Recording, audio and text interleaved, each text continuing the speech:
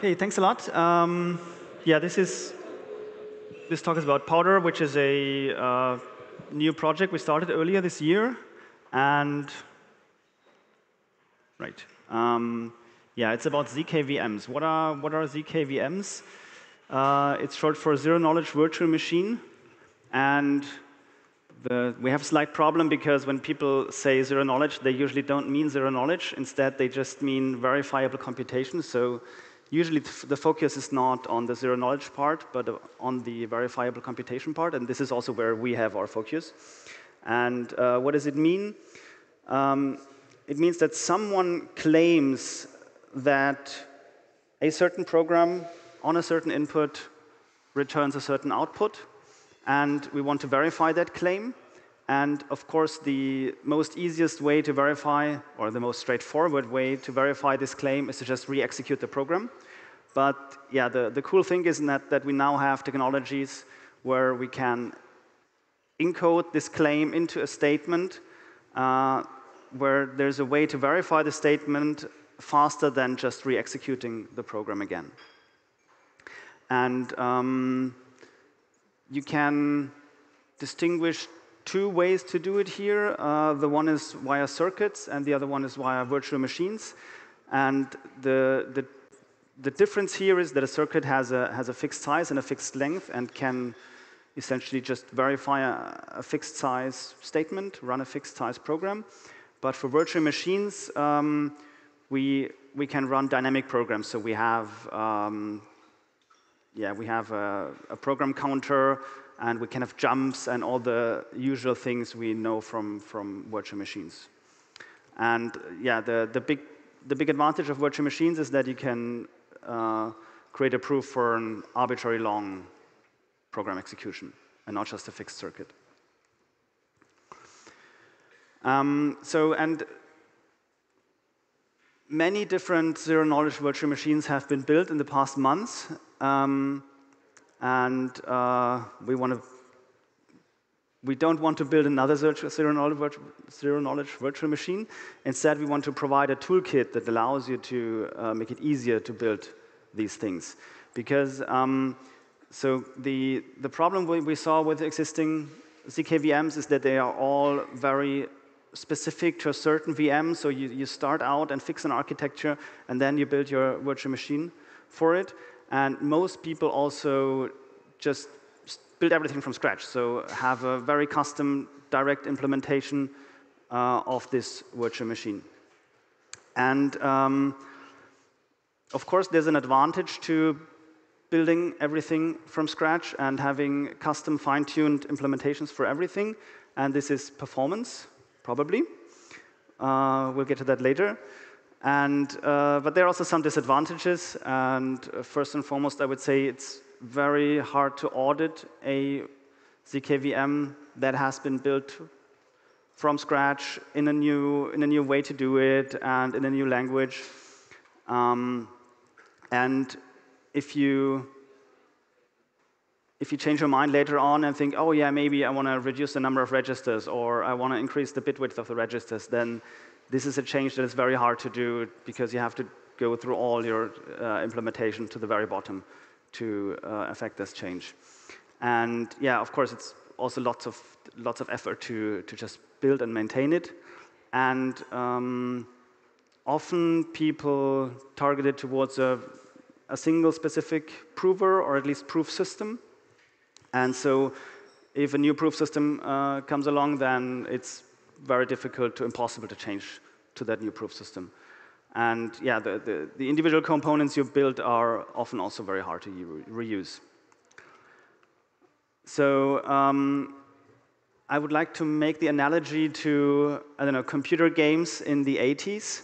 When you build a computer game, or when you, yeah, in the 80s, then you build it for a specific machine, and you probably write it directly in assembly, or at least large parts are written in assembly. And then when you want to port it to a different computer, then you usually have to rewrite it from scratch, or at least rewrite a lot of things from scratch, the, the stuff you, wrote, you wrote in assembly.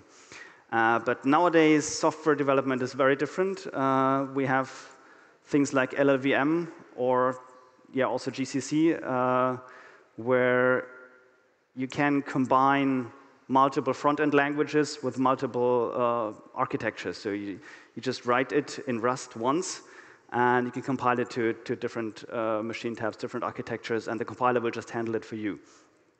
Um, yeah, so, and this is where we see Powdr. So Powdr, the, the idea is that Powdr is the LLVM of, of zero-knowledge virtual machines. OK, let's get more into detail about what Powdr actually is. Um, so it's, it's a compiler stack that allows you to define zero-knowledge virtual machines. And yeah, in a modular way, so you can also have core processors and dedicated chips. And it abstracts away the, the low-level constraints you would write other, otherwise. So you can do it in a quite high-level way. And uh, you don't have to care about prover complexity and all these things. And you can build your machines in a very modular way. We plan to have a standard library that has modules for hashes, uh, elliptic curve operations, whatever that you can just use, and that works with the code you have written. And since, so this is all the, the powdr code you write is not, uh, for example, Rust. It's, it's its own language, which has the benefit that the whole system uh, can analyze. You, you it is all formalized in a single system. So you can analyze the code. You can check for non-determinism. You can do formal verification to, to uh, yeah, verify correctness of execution. And you can run various kinds of optimizations on it. And the, the idea, the hope, the goal is that it's very easy to build, test, and audit zero knowledge, uh, zero knowledge virtual machines. I should train that word a bit better.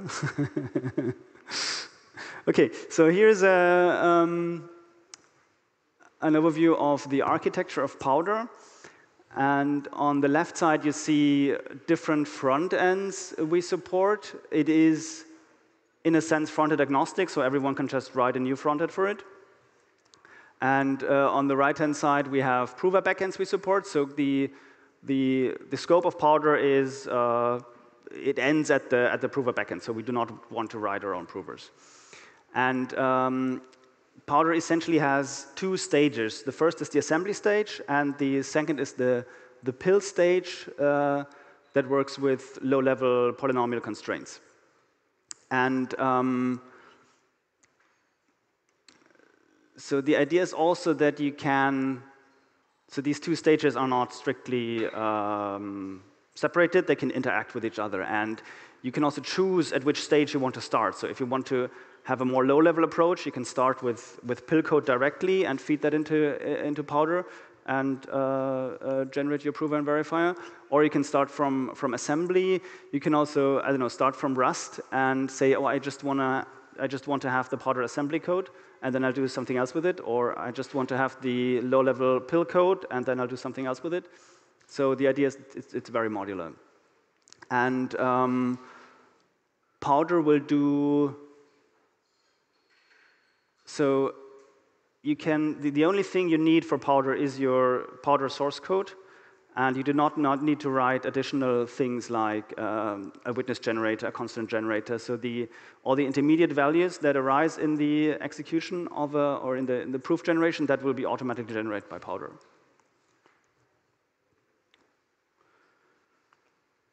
Okay, and um, to yeah, more like to, to validate the concept, we wrote an example frontend that implements RISC-V. And uh, it took us roughly 300 lines to implement the RISC-V architecture, so 300 lines of powdr code. We will see later how that looks. And um, yeah, so, and with this, we are able to generate proofs for all the backends I listed from any NoSTD Rust code uh, out of the box using Powdr. It's just a single, single command, you run the Powdr command line interface, provide a crate or a, a, Rust file, and it executes it and generates a proof. And uh, we also have uh, different virtual machines and architectures in preparation. Um, EVM and Valida, and this is nice because uh, it allows us to compare how different architectures work. So of course, you can, you can take an EVM interpreter written in Rust and compile that through the RISC-V toolchain. Uh, but you can also see how this compares to an EVM interpreter or EVM virtual machine written directly in, in Powdr assembly. Or you can compare how um, compiling Rust through the Valida virtual machine works as opposed to uh, our RISC-V virtual machine. Okay, so I think we have a lot of time for questions. um, let's take a look at some example code. So uh, here on the left, we have Rust code. And um, this Yeah, I'll just assume you know some Rust, otherwise it's too complicated. So this is no std code, that's the only requirement. And we actually import an external crate, a tiny Keccak that's, that's computing the Keccak. It's just an, a crate that exists out there. We didn't, we didn't change anything there. Um, and uh, this program computes a hash, and at the end it asserts that the hash equals some value. And the idea is if, so the, the the proof is valid if the program does not panic. If it panics, so if the assertion fails, then you can't generate a valid proof. And um, we take that program, uh, use regular, the regular Rust compiler, and turn that into RISC-V 32-bit assembly. You can see the beginning of the main function in the middle. And then uh, we do a, yeah, a local transformation, or yeah, a simple transformation to turn this LLVM assembly code into powdr assembly code. So you can maybe see some similarities between the middle and the right. So uh, in, the, in the first line, we have the, we add SP, or we compute SP minus 480 and add that to SP again. And in powdr, we only use unsigned numbers, so this, this is a large number, not a negative. And then we do some memory stores. Um, so this is this is roughly how powdr assembly looks. But it's actually much, much cooler because this is just the, just the assembly part. And the, the main point of powdr is that it allows you to define a full virtual machine architecture in user code. So um, when, you, when you start out with an empty powdr file, you have nothing. You don't have instructions, you don't have registers. Um, you can and also have to define them all on your own. And uh, we can see how that works here on the left. Um, we define a register called PC, which, is a, we, we, which we tell Powdr that it's a special register. And then we have uh, four more registers, X, Y, and Z, which are assignment registers, and then a general purpose register A. And then we define a jump instruction. And the jump instruction takes a label. And what it does is it sets the PC to that label. So this prime uh, on the PC, this tick uh, means that it's the next value of the PC register. And uh, inside these curly braces, these are constraints written in the low-level PIL language. And for an instruction, the constraint is only active when the construction is, or the, con the, the constraint is only enabled when the instruction is active. And the same for the, the assertion. We require that x and y are equal, but only when the instruction is active. And then we have an add instruction, and this is delegated to a, to a different specialized arithmetic submachine. And uh, inside this function, then, we have the, the actual program, so the instruction. This is what you, what you saw on the earlier slide. And what it does is it has a start label, it adds 2 and 1, stores it into A, and then it asserts that a is equal to 3, and it jumps again to the start. So very simple, very simple example. And um, yeah, as you saw already, we have these low-level constraints inside the instructions, and the idea is that you can always interface from the higher abstraction layer also with the lower abstraction layer. So this is, I don't have an example for that, but we have a way where you can define a, or where you can declare a Rust function and then link that up to a low-level machine that actually is, just a specialized circuit just for this single function, and it's, it will be translated into a single instruction later on. Um, and then, yeah, the low level is PIL. Um, we, so this is heavily inspired by the PIL of the same name by Polygon Hermes, but we extended it a little, but it's still mostly compatible. And uh, so this is an example for a machine that computes Fibonacci numbers. And the idea, so how do you think about these constraints, or how do you think about these machines is as a, a table. You can see it on the right here. So you have, you have columns. These columns, so register, a, register in the virtual machine would also correspond to a column, and the, the, the PC is a column, and so on. And um, here in the low-level PIL, you can directly define these columns. And um, we have two types of columns. We have fixed and, and witness columns. And the fixed, the difference is that the fixed columns are directly defined, and the witness columns are just inferred from the constraints. And uh, so we have simple code here for the first column to set it to 1 on the first row and 0 on all the others. And then we have two witness columns, x and y. And then we have these two constraints here. Uh, first times y minus 1 equals 0, and first times x minus 1 equals 0. And the idea is that these constraints have to be satisfied on every single row.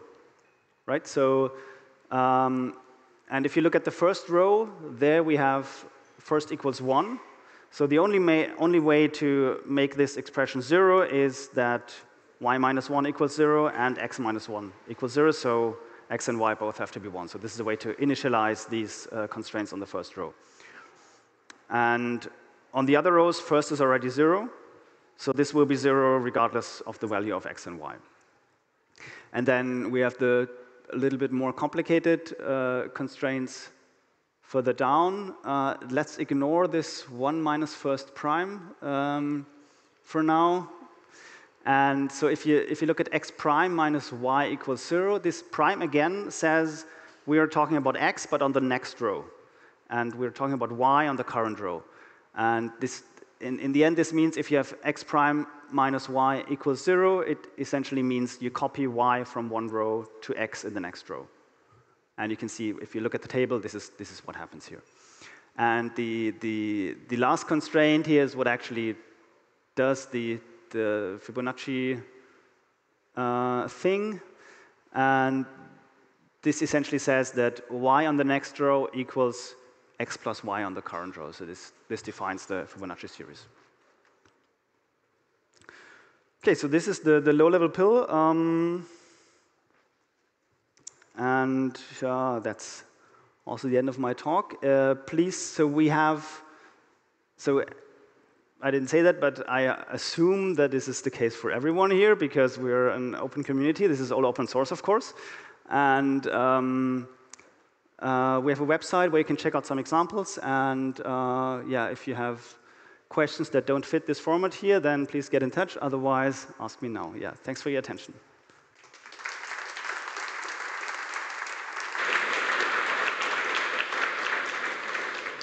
Um, thanks for the talk and also a really amazing project um, because uh, it's still very complicated to build anything. Um, I, I had maybe one or two questions, however much time we have. Um, can I write both explicit circuits optimized for a specific function or VMs? I was a bit confused because you said architecture for ZK VMs, but also sometimes I just want to write explicit circuits uh, the, the audio is really bad here. I, am ah, what was um, the second word? uh, Can I? I? No, it's my fault. I just need to speak in the mic. Um, I'll, I'll repeat. So you said it's a compiler for ZK VMs, but can I also use it to write explicit circuits, not VMs? I, I mean, you can write, so our lowest level is this polynomial constraint language. Uh, and this, you can write circuits in this constraint language, but they don't really look like circuits, right? So this is this is targeted towards the this this pluck-up uh, thing, mm -hmm. right? And but it is yeah kind of compatible, right? But it, it's not it's not like you you can't write circuits as you can write in CirCom, for example. And then. Um, if I am allowed, I'll, I'll pass the mic back. Um, you had this uh, tick to indicate the next value of the register, and then in the PIL table, it was sort of the next row, I would understand. Can you, can you make like more advanced patterns in the table as well in the language, or is that still? So we, the syntax does not support it yet, but this, this is planned to, to allow it. So you Right. to go say, oh, the Yeah, exactly. reach four uh, rows down and stuff, and four rows back or whatever. yeah. Awesome. awesome. Yeah, thanks.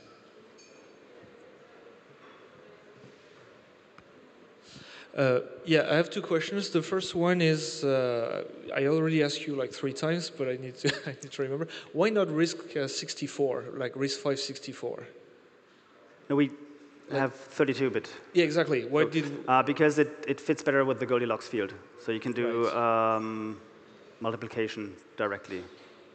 Thanks. And the second question was uh, at some point, like when you showed the, the disassembly, um, like the, the RISC-V disassembly compared to the to the generated uh, thing. No, sorry, that was the next one. That was the when the arithmetic, arithmetic machine. You have the operation add, and you have this kind of template specialization syntax with zero in it. Uh, what does So that that's mean? the, yeah, this is a very simple example. Usually you would have um, an arithmetic machine that does not just do addition, but also multiplication, subtraction, and whatever. And uh, this is a syntax that we still have to think about how to improve it, uh, where you say add is the first instruction, and then would ha- you would have operation mul 1 for the second instruction, and so on. So this is just to,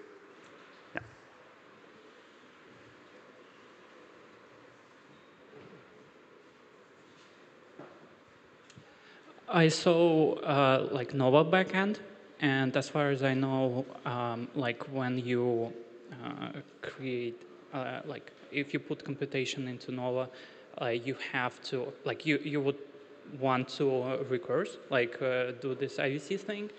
Uh, and the question is like, how would you partition the computation into like this paradigm? Because like, as far as I know, this like recursion should be quite big, like each chunk, right? Like 10k constraints or something. And if you put every single like instruction there, it would be, uh, it would have too much overhead. Yeah, so I'm not sure if if this is only Nova or Supernova or Hypernova or whatever Nova we are now, but as far as I understood, Nova is specialized for opcodes, and for that we actually have a different compilation path where we uh, where we directly go from the instructions to the backend because we kind of retain the the concept of an instruction because that is the better supported there. But uh, we also want to have uh, general support general folding schemes. There, of course, the question is if you have memory, how do you condense that into how how you can reach across the the chunks? But uh, this is uh, in preparation.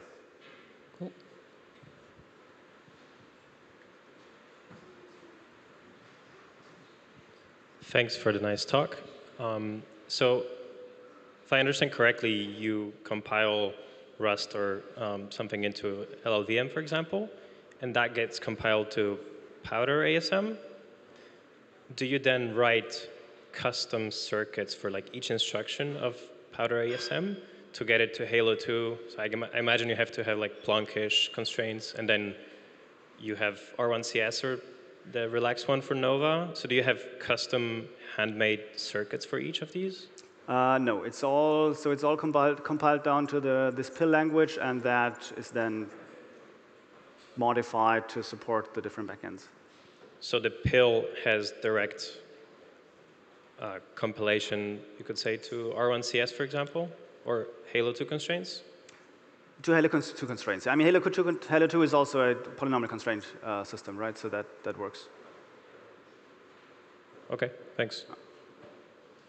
One more question? Any? Let's get over there quickly. Um, there's a big note on the Git repo that says do not use for production. Do you have any thoughts on when this will be prod ready? Sorry, can you say it again? It's- Uh, timeline for production use, when this will be production safe? Uh, no promises.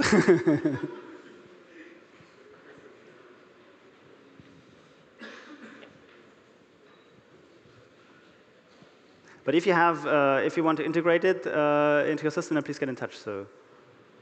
That will help.